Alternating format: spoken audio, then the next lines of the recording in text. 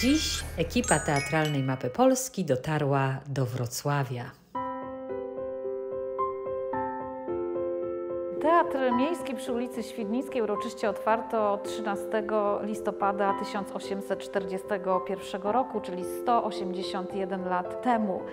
To była wielka uroczystość, którą bardzo pieczołowicie przygotowano, wielkie święto też dla mieszkańców Wrocławia. Głównym elementem tej uroczystości było wykonanie sztuki Goethego Egmont z muzyką Ludwiga van Beethovena. Na uroczystości tej był y, oczywiście obecny architekt y, tego teatru, Langhans, którego ukoronowano specjalnym okolicznościowym wieńcem laurowym. Teatr był bardzo nowoczesny jak na tamte czasy, zawierał wszelkie możliwe y, udogodnienia, był bardzo pojemny, o co Wrocław tak bardzo zabiegał i mógł pomieścić około 1600 widzów. Miał bardzo nowoczesne, jak na ówczesne czasy, oświetlenie, no oczywiście był też przepięknie ozdobiony. Niestety teatr, który oglądali wrocławianie 180 lat temu, nie dotrwał do naszych czasów w swojej oryginalnej formie.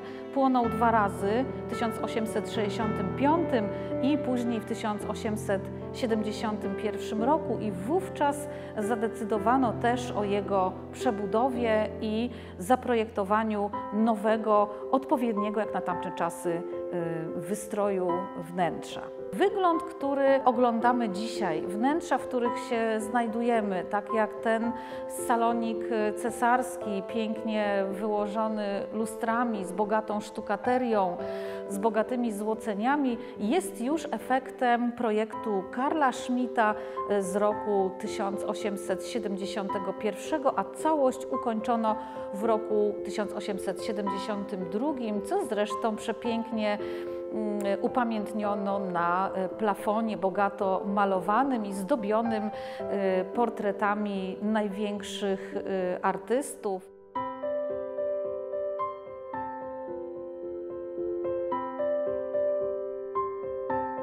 Teatr Miejski we Wrocławiu przy ulicy Świdnickiej był sceną, która widziała, gościła i słyszała najwybitniejsze osobistości świata muzycznego tamtych czasów. Mało który teatr w Polsce może poszczycić się taką plejadą i taką listą najwybitniejszych gości. To były gwiazdy, które elektryzowały. Tak jak dzisiaj gwiazdy popkultury, e, publiczność, która je absolutnie uwielbiała, która wykupywała kupowała miejsca w tym teatrze i chciała je jeszcze raz i jeszcze raz oglądać. Z dyrygentów i słynnych kompozytorów trzeba tu wymienić chociażby Franciszka Lista, który w roku 1843 zagrał kilka wybitnych recitali fortepianowych, ale też co ciekawe, to właśnie w naszym teatrze zadebiutował jako dyrygent. Później okazało się to jego kolejną bardzo ważną profesją. Ale był tutaj także Ryszard Wagner, był Pietro Mascagni, był Ryszard Strauss. Z wybitnych wirtuozów, chociażby Henryk Wieniawski, trzykrotnie wracał i do Wrocławia właśnie, aby wykonać koncert w tutejszym teatrze. Były wspaniałe śpiewaczki, Wilhelmina Schroeder-de Vienne, Adelina Patti, czy później Marcelina Sembrich-Kochańska, przecież wielka polska gwiazda Metropolitan Opera. Musimy pamiętać, że do lat 60. XIX wieku Teatr Miejski Wrocławia był największą salą koncertową, najbardziej pojemną. Stąd zarówno oglądano, oglądano tutaj spektakle operowe, teatralne, ale też ciągnęły do naszego miasta wielkie gwiazdy muzyki.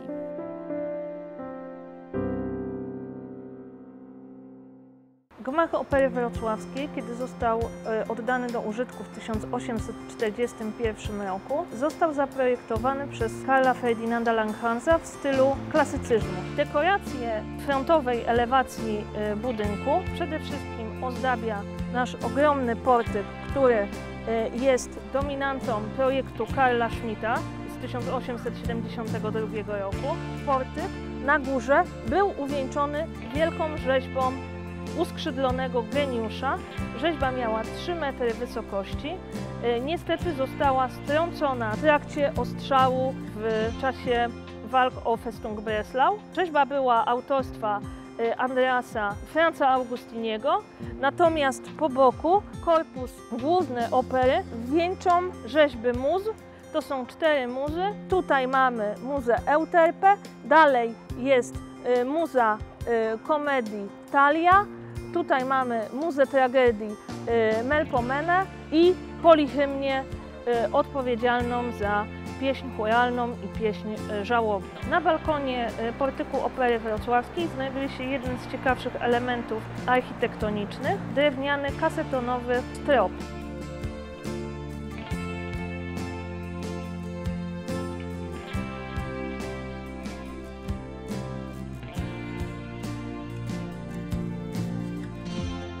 Stoimy przy zachodniej elewacji e, Opery Wrocławskiej. Ona jest dość e, ciekawym elementem architektonicznym, e, bo wydaje się, że ta kolumnada, która rozciąga się na całą szerokość elewacji, jest tak naprawdę XIX-wiecznym elementem całej konstrukcji.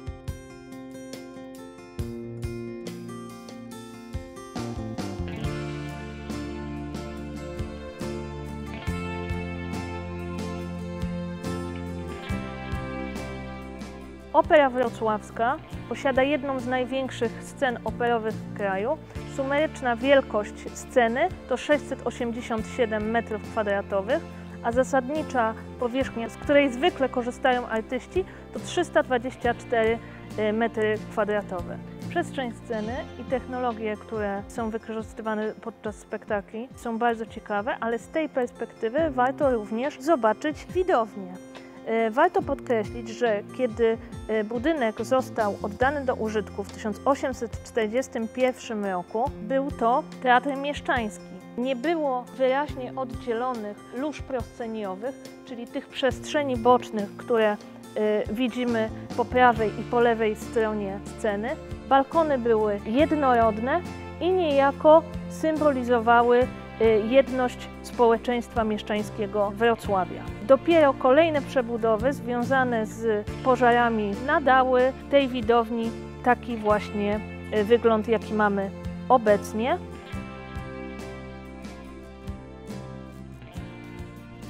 Nad orkiestronem znajduje się y, obraz berlińskiego malarza Detmera przedstawiający Apolla, boga sztuki, na kwadrydze, czyli takim czterokonnym powozie. On jest w otoczeniu muz i gracji. Dalej jest ten nasz ozdobny żyrandol wykonany z pozłacanego żeliwa. Znajduje się w nim ponad 100 żarówek, a w środku y, znajdują się specjalne pomosty, dzięki którym właśnie konserwatorzy niejako dostają się do środka. Mamy radialnie rozmieszczone portrety kompozytorów. Mozarta, portret Ryszarda Wagnera, Puccini, Verdi, y, Stanisław Moniuszko, y, Władysław Żeleński, Piotr Czajkowski, rimski Korsakow i Czech Bedrych Smetana zamyka cały kanon kompozytorów. Łącznie w Operze Wrocławskiej znajduje się 200 m2 kryształowych luster i oprócz tego Y, znajduje się tutaj również 500 y, kinkietów i żyrandoli kryształowych.